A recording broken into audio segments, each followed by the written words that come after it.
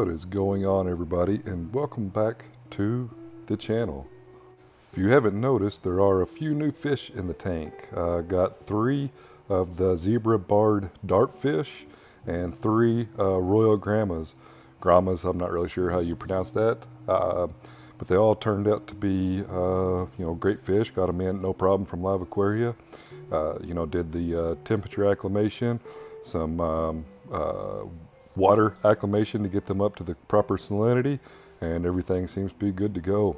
The uh, zebra dartfish are definitely um, some shy fish at the moment. They've been in the tank for a couple weeks now and uh, they come out every once in a while but for the most part they stay hidden under the rocks and they're very fast.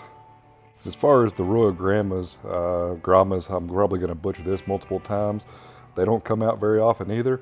Just waiting for them to kind of get used to the tank and uh, show themselves. So like I said, I picked up three of each and uh, just in, in, hopes of uh, them coexisting perfectly in the tank and adding some color as well as some bio load to the Red Sea Reefer 250. You can see here that one of the zebra dartfish is starting to poke out of their little home that they've made under the left rock structure. And again, they, uh, they come out uh, pretty sparingly, but I'm hoping that they get uh, used to the environment and the kids running around and they make more of an appearance because they're really interesting fish. And I had no clue about these fish until I started researching them on the uh, Live Aquaria website.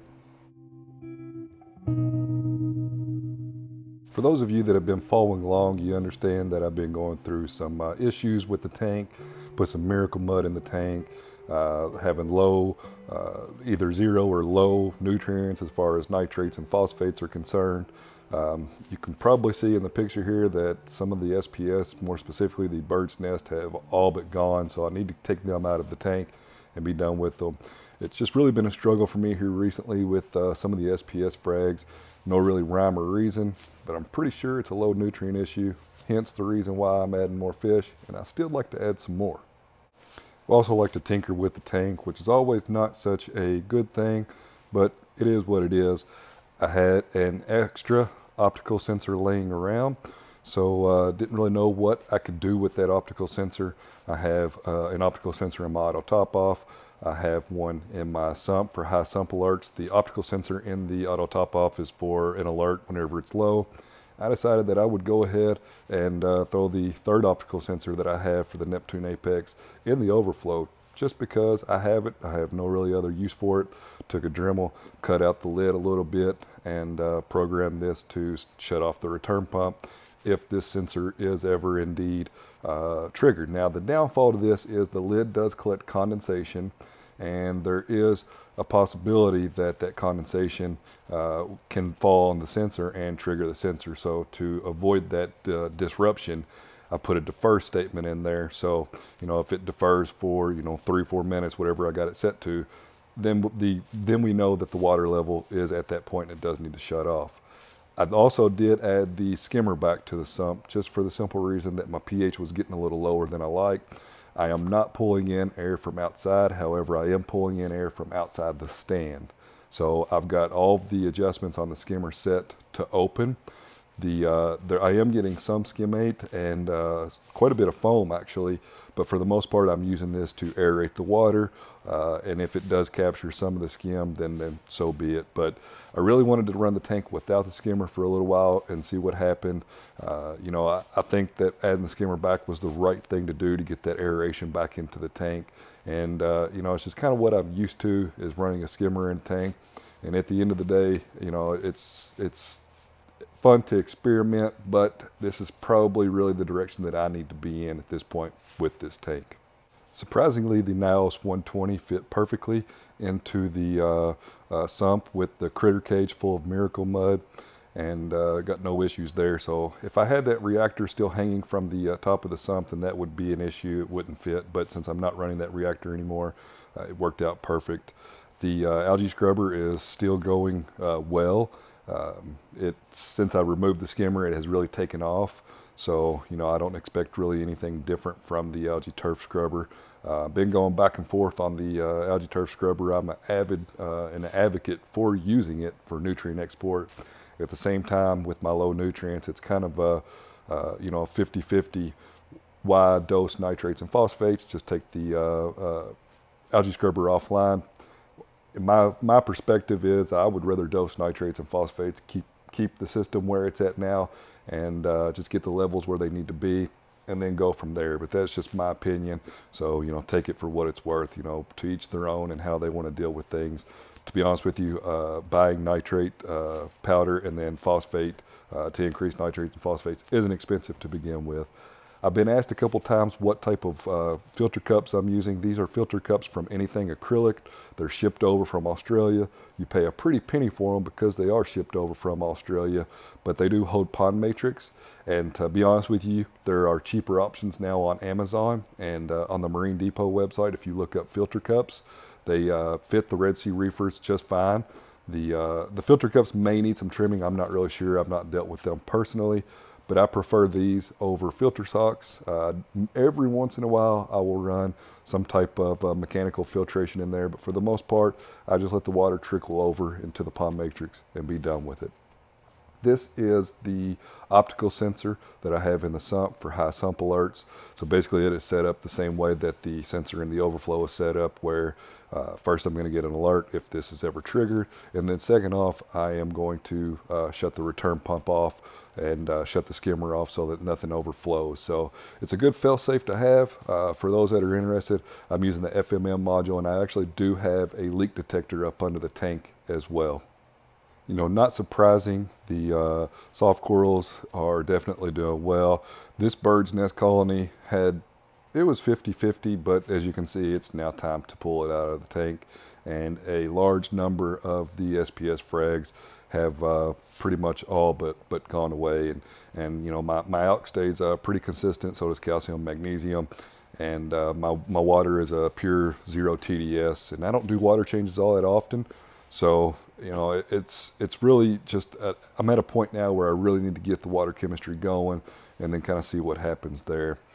I have been dosing uh, some Seachem Flourish into the tank and my, my phosphates are at a respectable level. Uh, I do feed uh, a frozen cube every day and pellets twice a day. I do add reefroids to the frozen cube a couple times a week, and I have Acro Power uh, on a doser set to dose three times, like three milliliters each dose. So, you know, I, am, uh, you know, trying to do things uh, naturally, but in the end of the day, I am dosing phosphates a little bit.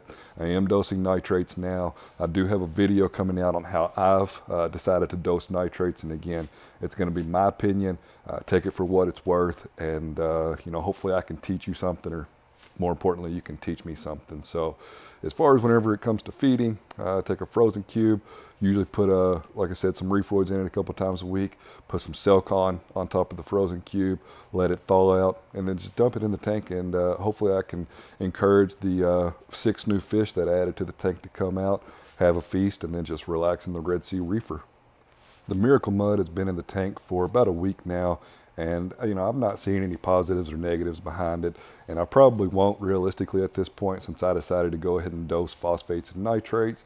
Uh, I will say that after having some discussion about this on the forums, look at you need to, to do a coin toss. What is going to be better for you? Is it going to be Miracle Mud or the Walt Smith Fiji uh, mud? And it seems like a lot of people like the Walt Smith stuff, but again, take it for what it's worth. I don't have any experience with it. I, I walked into this uh, being a pure skeptic of the Miracle Mud, and ultimately we'll just see what happens. And if you aren't aware, I have a full build thread on Reef to Reef. It's almost 30 pages. I usually update it a couple times a week with uh, what I've been doing to the tank, kind of what's going on. So if you're interested in, you know, those type of live updates, you can go to Reef to Reef, look up Devoted Reefer, or click the link in the description below. Um, I am on Instagram and I do a ton of pictures and videos on Instagram as well, so you can kind of follow along there with what I've been doing. But as far as uh, dosing the nitrates, like I said, I'm going to have a video coming out on that, specifically on how I chose to go about dosing nitrates and mix the green leaf KNO3.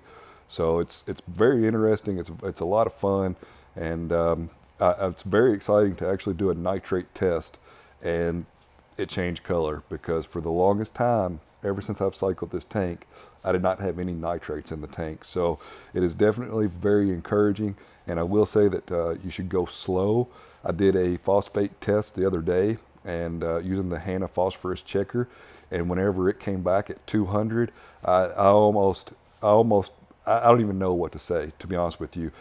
I immediately suspected that it was user error. Unfortunately, I had to go to work, so I couldn't test again. Whenever I went to work, it's all I could think about. So as soon as I got home, I did another test, and it came back at five. So it, that uh, does verify that it was user error. But whenever it started blinking at 200, I thought it was over. I thought I, I had nuked the tank at that point. It is definitely a balancing act. There is uh, no doubt about that. It's just trying to figure out what works best for you and then just kind of roll with it. Um, again, you know, all of my videos are from my experience or my opinion. I don't know if it's right or if it's wrong.